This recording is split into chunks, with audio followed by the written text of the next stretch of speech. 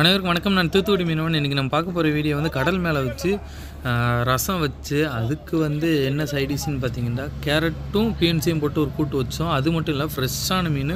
இப்போ தான் வலையில் வந்த மீனை வாங்கிட்டு வந்து நாங்கள் வந்து குழம்பு வைக்கிறோம். மீனை பார்க்கும்போதே தெரியும். அந்த மீனை சாரி குழம்பு வைக்கல. மீனை வந்து பொறிக்க போகிறோம் என்ன மீன் பார்த்தீங்கன்னா இந்த மீன் பேர் வந்து வரிச்சோறுங்க. மீன்லேயே ரத்தம் அதிகமாக இருக்கிற மீன் தான் இந்த மீனை சொல்லுவாங்க. டேஸ்ட்டு எங்களுக்கு ரொம்ப பிடிக்கும். மற்றவங்களுக்கு பிடிக்குமா இல்லைன்னு தெரில யாருக்கெல்லாம் இந்த வரிச்சோறு பிடிக்குமோ மறக்காமல் கமெண்ட்டில் சொல்லுங்கள் எனக்கு ரொம்ப பிடிக்குங்க. இதை தான் வெட்டி வந்து பொறிக்க போகிறோம் என்ன ஒன்று மீனை வந்து இன்றைக்கி வந்து கொஞ்சம் தான் பொறிக்க போகிறோம் ஏன்னா எல்லா மீனையும் வெட்டிடுவாங்க அண்ணன். அண்ணன் தான் வேறு லெவலில் குழம்பு வைப்பாங்க சூப்பராக வைப்பாங்க. அந்த அண்ணன் தான் நீ குழம்பு வைக்கிறாங்க பாருங்கள் மீனோட சதையை பாருங்கள் எப்படி இருக்குன்ட்டு. மீன் ஃப்ரெஷ்ஷான மீனால உங்களுக்கு தெரியுது இதே கொஞ்சம் ஐஸ் அடித்த மாதிரி இருந்துச்சுன்னா மீன் வந்து கருப்பாக ஆனாலும் ஆயிரும்.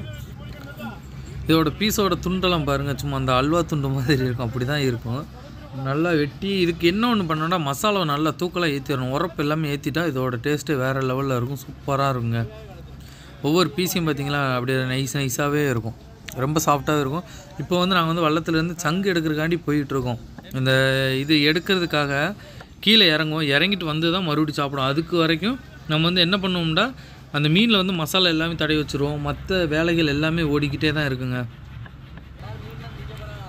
பேசும்போதே எனக்கு வந்து கொஞ்சம் எச்சி ஊற ஆரம்பிச்சிட்டு. எல்லாத்தையும் வெட்டிட்டு இருக்கோம் சூப்பராக இருக்குது இதில் வந்து சதையை வந்து நல்லா வரி வரியாக ரவுண்ட் ரவுண்ட் பீஸாகவே விழுகும். அந்த அளவு சதை இருக்கும். இப்போ வல்லம் வந்து ரன்னிங்கில் தான் இருக்குது பார்த்தீங்களா இனிமே தான் சங்கு எடுக்கிறதுக்காக எல்லாருமே தண்ணிக்குள்ளே இறங்குவோம்.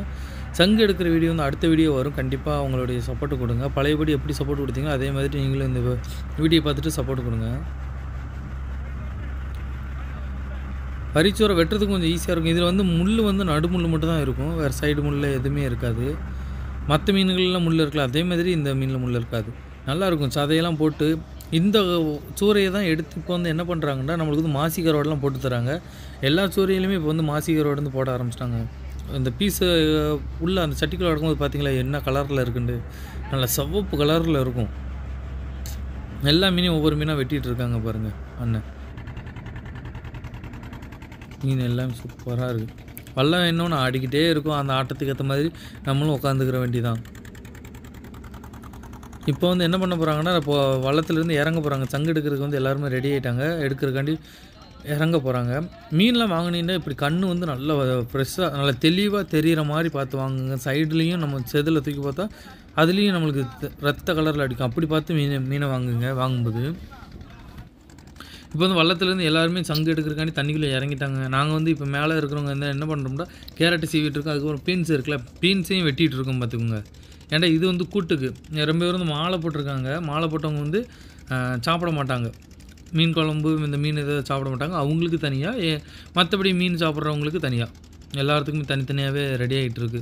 மொத மொதல் கூட்டு வைக்கணும்னு வச்சுக்கோங்களேன் கடல் மேலே வச்சு. இங்கே வந்து எல்லாருமே வேலை தான் பார்த்துட்ருக்காங்க தண்ணிக்குள்ளே தண்ணிக்குள்ள உள்ளவங்க போய் இப்போ சங்கு தோண்டிட்டு இருக்காங்க. இங்கே அவங்க வந்து ரெடியாகி வர்றதுக்கு நாங்கள் அதுக்குள்ளே இந்த சமையல் வந்து எல்லாமே ரெடி பண்ணி வச்சுருக்கணும். அதுக்காக தான் எல்லாம் ரெடி ஆகிட்டு வெட்டிட்டு சர சரன்னு இருக்காங்க. கடல் மேலே வச்சு சாப்பிடும்போது வந்து எல்லாமே டேஸ்ட்டாக இருக்கும் சூப்பராக இருக்கும். எந்த ஒரு குறையுமே தெரியாது. அது வந்து ரசத்துக்கு வெட்டி வச்சுருக்காங்க. ஏன்னா ரசத்துக்காண்டி எல்லாமே தக்காளி அதுக்கப்புறம் அந்த பூண்டு எல்லாத்தையும் நச்சு போட்டு வச்சாச்சு. கேரட் சீவுறதுக்கு தனியாக கேரட்டு கூட்டணும் சூப்பராக இருக்குங்க.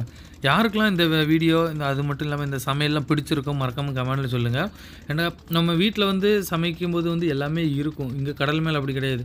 எது தேவை இருக்குதோ அதை வச்சு தாங்க சமையலே நடக்கும். சும்மா எல்லாத்தையுமேனாலும் போட்டு வச்சிரும். ஆனால் அது வந்து டேஸ்ட் சூப்பராக இருக்கும். ஏ- காரணம் டேஸ்ட் நல்லா இருக்க காரணம் எங்களோட வேலைகள் வந்து அதிகமாக இருக்கும். அந்த வேலையெல்லாம் முடிச்சுட்டு அந்த பசியோடு இருக்கும்போது வந்து அது வாய் வயிற்றுக்குள்ளே போகும்போது ருசி வந்து வேறு லெவலுங்க. இப்போ ரசத்துக்கு வந்து அண்ணன் வந்து எல்லாமே போட்டு தக்காளி வத்தல் அதுக்கப்புறம் பூண்டு மல்லியலை எல்லாத்தையுமே போட்டு வதக்கிட்டு இருக்காங்க பாருங்கள் இது வந்து மீனுக்கு அந்த யாரெல்லாம் சாப்பிடுவாங்களோ அவங்களுக்கு தேவையான மீனை மட்டும் எடுத்து பொறிக்க வச்சுருக்காங்க. இப்போ அதுக்கு தேவையான பொடியெல்லாம் மிளகு பொடி முதற்கொண்டு எல்லாமே போட்டுட்ருக்கோம் பாரு. இந்த ரசம் வந்து உண்மைக்கும் சூப்பராகவே இருக்குங்க. எனக்கு ரொம்ப பிடிக்கும் இந்த ரசம் அண்ணன் வைக்கிற ரசம். நல்லா மஞ்சப்பொட்டி எல்லாமே போட்டு இருக்காங்களா கடல் மேலே வச்சு சில டைம் வந்து சில விரத்துகளுக்கு வந்து நெஞ்ச கறிக்கும் எனக்கு ஒரு சில டைம் வந்து நெஞ்ச கறிச்சு விட்ருக்கும் நெஞ்ச கறி நம்ம என்ன தான் சாப்பிட்டாலுமே வாமிட் வர மாதிரி ஒரு ஃபீல் ஆகும். அப்படி இருக்கும். அந்த டைம்லாம் நம்ம வந்து இந்த ரசத்தை வச்சு சாப்பிட்டோம்னா நம்மளுக்கு எந்த ஒரு ஃபீலும் இருக்காது. ரசம் நல்லா சாப்பிட்டுட்ருப்போம் அந்த இது எல்லாமே வதங்கினதுக்கு அப்புறம் தான் புளியை ஊற்றிட்டு இருக்காங்க பாருங்கள் புளி வந்து நல்லா கரைச்சி வச்சுட்டாங்க. அது வந்து அரிப்பு மாதிரி நம்ம கண் கரண்டி இருக்குல்ல அதை வந்து அரிப்பு மாதிரி வச்சு நம்ம அரித்து எடுத்துட்டாங்க எல்லாத்தையுமே. என்ன ஒன்று கரையில் இருக்கிற மாதிரி ஒரே இடத்துல நிற்காது அந்த சட்டி வந்து அங்கிட்டு ஆடிக்கிட்டே இருக்கும். அந்த உள்ள உள்ள தண்ணி கூட நம்மளுக்கு அங்கிட்டு போயிட்டு வரும்போதே தெரியும் பாருங்க. இப்போதைக்குள்ள கொஞ்சம் காற்று கம்மி. காற்று உரமாக இருந்துச்சுன்னா அவ்வளோதான் முடிஞ்சிச்சு. ஏன்னா போ அந்தளவு உட்காந்து நம்மளால் சமைக்க முடியாது. அவ்வளோத்துக்குள்ளே நம்மளுக்கு வந்து இதாக இருக்கும். ரசத்தை ஊற்றணும் தேவையான தண்ணி ஊற்றியாச்சு இப்போ எங்களுக்கு வந்து பப்பாளி நான் வந்து கடலுக்குள்ளே இறங்கிட்டு வந்தேன். வந்த உடனே நம்மளுக்கு வந்து பப்பாளி ரெடியாக இருக்குது பாருங்கள் அதனால தான் மண்டை எல்லாமே சப்பி போய் கிடக்கு. முடியெல்லாம். பப்பாளி வந்து காயாக தான் இருந்துச்சு. இங்கே காயாக இருந்தாலும் சரி பழமாக இருந்தாலும் சரி நம்ம வயிற்றுக்குள்ள போகும்போது அதே ஒரே டேஸ்ட்டு ஸோ நல்ல ருசியான ஒரு டேஸ்ட் தான் கொடுக்கும். இப்போ எங்களுக்கு தேவையானதை நாங்கள் சாப்பிட்டாச்சு. தண்ணிக்குள்ளே இறங்கியிருக்காங்கள அவங்களாம் வந்து மேலே வந்து சாப்பிடுவாங்க. அவங்களுக்கும் நாங்கள் வெட்டி வச்சுருக்கோம். ரசம் வந்து ரெடி ஆகிட்டுங்க இப்போ வந்து நம்ம கேரட்டு பீன்ஸ்லாம் வெட்டி வச்சுருக்காங்களா அதுலேருந்து கருவேப்பிலை எல்லாம் போட்டாச்சு. இப் இப்போ அண்ணன் என்ன பண்ண போகிறாங்கன்னா ரசத்துக்கு வந்து காயப்பொடி. அந்த பொடி போடுவாங்களே அந்த பொடி போட்டுறாங்க. அதுக்கப்புறம் உப்பையும் க கலந்து விட்ருவாங்க அந்த கரண்டியில் வச்சு அண்ணன் வந்து போடுவாங்க பாருங்கள் அவ்வளோதான் இனிமேல் கிண்டி வச்சா நம்மளுக்கு ரசம் ரெடி ஆகிட்டு இதை வந்து ப- இப்போ வள்ளத்துக்கு கீழே வச்சு தான் நாங்கள் வந்து இந்த சமையல் வந்து செஞ்சிட்ருக்கோம் இதை வந்து மேலே தூக்கி கொடுத்துருவோம். மேலே கொண்டு போயிடுவாங்க.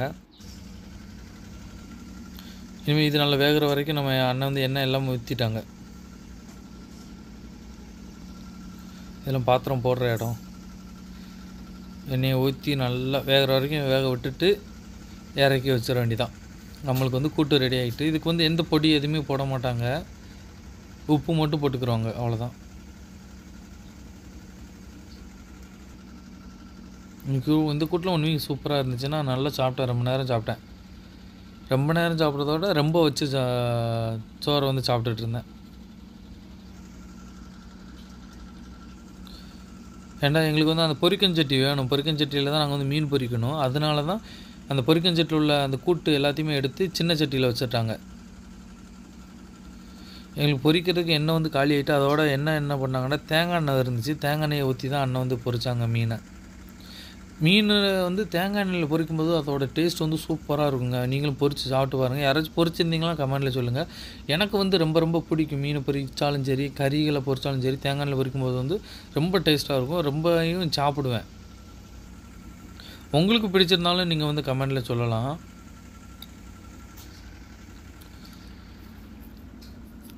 அப்படி கறி துண்டு மாதிரி கிடக்கும் இந்த மீன். மசாலா எல்லாமே தடை வச்சனால.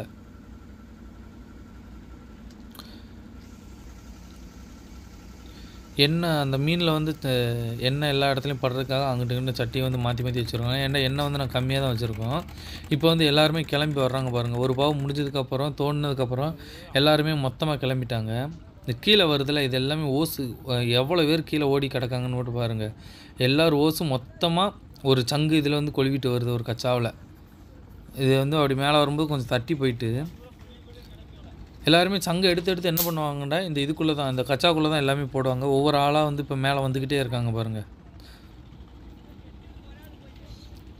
ஏன்னா எங்களுக்குள்ள டைம் முடிஞ்சிட்டு இந்த டைமுக்கு இப்போ வந்து சாப்பிட்டுட்டு இதுக்கப்புறம் மறுபடியும் ஒரு பாவு வந்து தண்ணிக்குள்ளே போய் சங்கு எடுக்கணும்.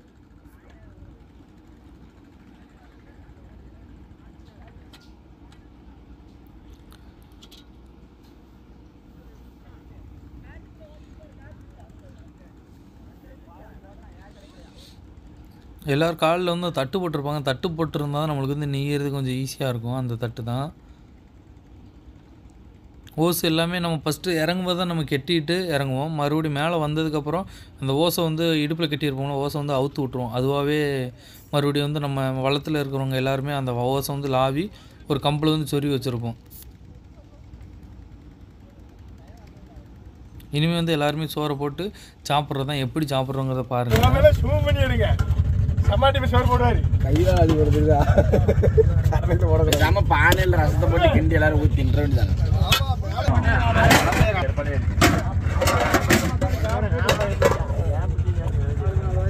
ந- நல்லா பாருங்க தட்டை நல்லா ஜூம் பண்ணி எடுக்கணும்.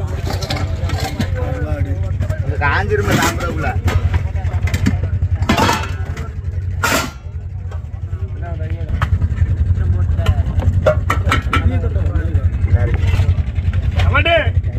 கோரசா போடுங்க கோரசா.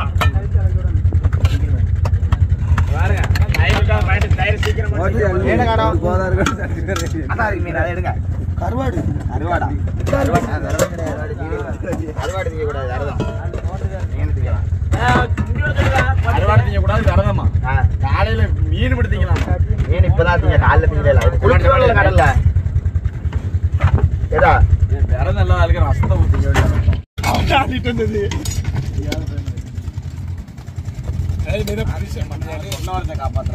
அது வார்த்தையே சொல்லல.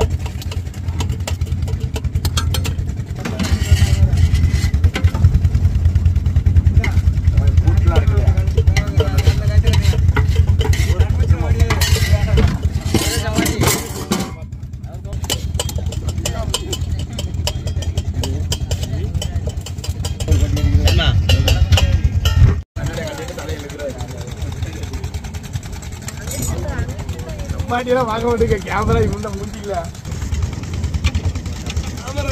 இவர் இவரு போயிட்டு வந்தபடியும் அவரு அச்சா வந்துருக்காரு அவரு. அவரு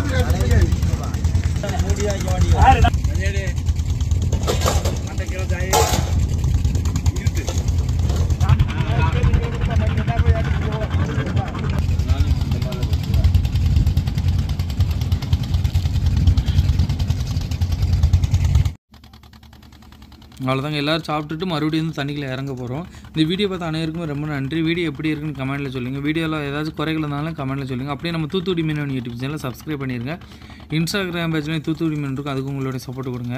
அடுத்தடுத்து எங்கள் வந்து தொழில் வந்து அடுத்தடுத்து போய்கிட்டே தான் இருக்கும். உங்களுடைய ஆதரவு வந்து இப்போ கொடுக்குற மாதிரி எப்பயுமே தொடர்ச்சியாக கொடுத்துக்கிட்டே இருங்க. நன்றி. வணக்கம்.